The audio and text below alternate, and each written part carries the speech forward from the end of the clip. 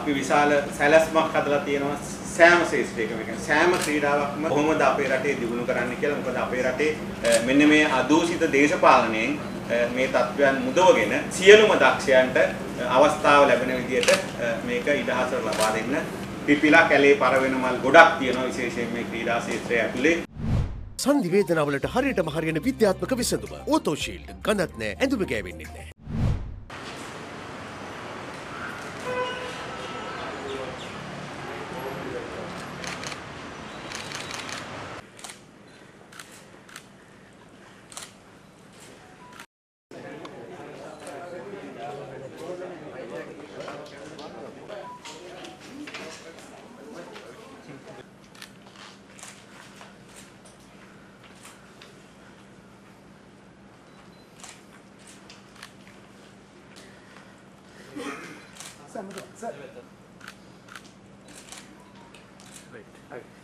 සිලෝන්ටී නාමයට පස්සේ ලෝකය ලංකාව කියන රට අඳුනගත්ත ක්‍රීඩාවෙන් ක්‍රිකට් ක්‍රීඩාවෙන් සුසන්තිකා ජයසිංහ ඔලිම්පික් පදක් අඳිනවා ඒ වගේ දේවල් මොන වගේ සැලැස්වක්ද තියෙන්නේ ලංකාවේ ක්‍රීඩාව ඉදිරියට ගෙනියන්න සහ මේ වෙන විට ඇතම් ක්‍රීඩා සංගම් වාරණයට ලක් වෙලා සහ ගැටළු සාගත තත්ත්වයන් තියෙනවා. මේ සියල්ල නිදහස් කරලා හෙට දිනේ තාරුණ්‍යයට මොන වගේ ශක්තියක් ලබා දෙන්නද ඔබතුමාගේ වැඩපිළිවෙල?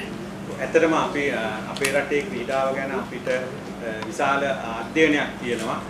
අපි විශාල සැලැස්මක් හදලා තියෙනවා සෑම ශේෂ්ත්‍රයකම. කියන්නේ සෑම ක්‍රීඩාවක්ම කොහොමද අපේ රටේ දියුණු කරන්න කියලා. මොකද අපේ රටේ දක්ෂ දරුවෝ ඉන්නවා. කැලේට පරවෙන මල් ගොඩක් තියෙනවා අපේ රටේ. ඉතින් අපි උත්සාහ ගන්නවා මේ සියලුම දක්ෂ හැම දරුවෙක්ම මේ ක්‍රීඩාවට යොමු කරන්න. ඒකට අදාළ කරන පහසුකම් හදලා දෙන්න. ඒකට සැලසුමක් හදන්න සහ ගුණාත්මක පුරවැසියෙක් නිර්මාණය කරගන්න මේ ක්‍රීඩාව අපිට පාවිච්චි කරන්න පුළුවන්. ඉතින් අපි බලාපොරොත්තු වෙන්නේ මෙන්න මේ අපේ රටේ ක්‍රීඩාව ලෝකයේ ඉහළින්ම තියන්නේ.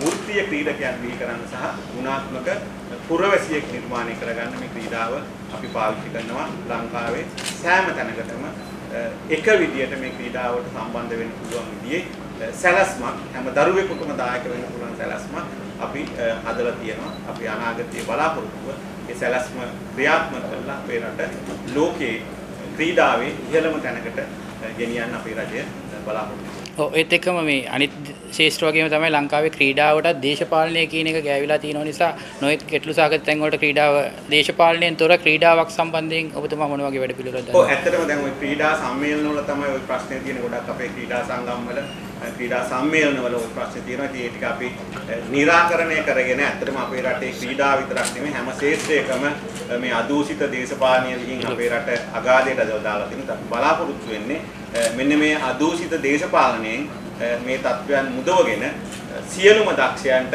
අවස්ථාව ලැබෙන විදිහට මේක ඉඩහසර ලබා දෙන්න විශේෂයෙන් මේවා ඇතුළේ වංචා දූෂණ අපි අහලා තියෙන සිද්ධ වෙලා තියෙනවා. ඒවා නවත්තලා සියලුම දෙනාට සමාන අයිතිවාසිකම් සහිතව ක්‍රීඩා කරන්න අවස්ථාව ලබා දෙන එක තමයි අපේ වැඩපිළිවෙල වෙන්නේ. ක්‍රීඩා ක්ෂේත්‍රය ගත්තොත් තරුණයා සහ ක්‍රීඩාව කියන්නේ දෙකක් නෙවෙයි. මේ එකට එකට සම්බන්ධ වෙච්ච එකක්. ඒතර මේක ඇතුලේ අපේ රටේ අපි දන්නවා කැලේ පිපිලා කැලේ පරවෙන මල් ගොඩක් තියෙනවා විශේෂයෙන් මේ ක්‍රීඩා ක්ෂේත්‍රය ඇතුලේ. එකක් අවස්ථා නැතිකම අනිත් එක පහසුකම් නැතිකම. ඒක නිසා අපි බලාපොරොත්තු වෙනවා ලංකා මුළු ලංකාව පුරාම දෙවුන්දර තුඩු ඉඳලා පේදුට්ටුව දක්වාම හැම ගමකම දක්ෂ දරුවන් බිහි කරන්න ඒ දරුවන්ට අවස්ථාව දෙන්න. ඒගොල්ලන්ට තියෙන පහසුකම් මදිකම අපි හොයලා බලලා ඒවට වැඩපිළිවෙලක් හදන්න. අපි දියුණු වැඩපිළිවෙලක් මේ වෙනකොට නිර්මාණය කරලා තියෙනවා අපේ රජයේ යටතේ.